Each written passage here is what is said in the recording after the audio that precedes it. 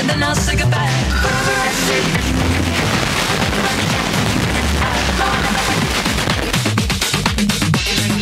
shoutouts, texts, and requests, please contact 07495 606 597.